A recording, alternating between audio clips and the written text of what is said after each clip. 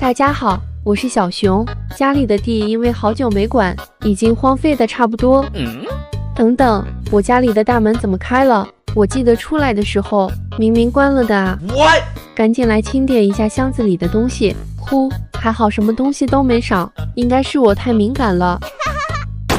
我去，有枪声，发生什么事了吗？赶紧过去瞧瞧。长官，出什么事了？是小熊啊，你来的正好，这里有个村民被枪杀了，这几个都是嫌疑人，你帮我调查一下吧。嗯，真是辛苦你了，小熊。好家伙，这么多嫌疑人呢？呃，如果我没有猜错的话，这两个大哥应该就是传说中的低能儿。不行啊，长官，这样看根本看不出来。等会，监控器，我有办法了。长官，你先等会哈。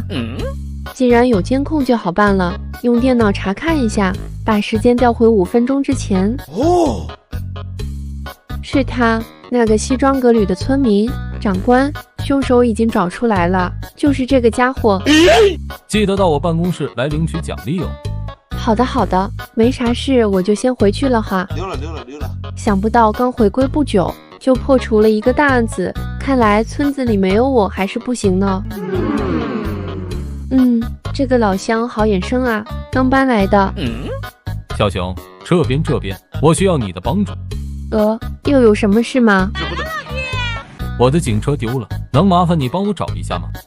不是吧，警车都能丢，你也太不小心了。不过有监控就好办多了，来查看一下监控吧。嗯，是那个可疑的村民。这小子鬼鬼祟祟的想干嘛？呃，原来是来跳舞的。把时间再往回调点。嗯，这不是咱俩吗？小熊，你是不是搞错时间了？呃，不好意思，我马上调回去。等等，我们后面好像有东西，是我的错觉吗？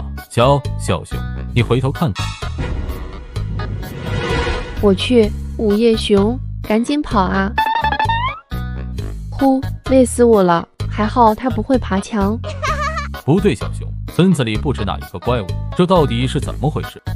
等等，这些怪物好眼熟啊，我好像有点头绪了。嗯，快看，那边有只小的，咱们过去问问他吧。给我站住！不想死的话，就带我们去你的基地。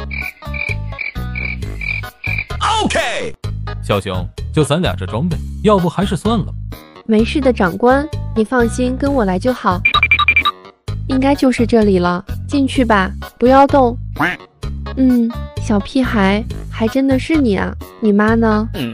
哎呀，这不是小熊吗？好久不见，别来无恙啊！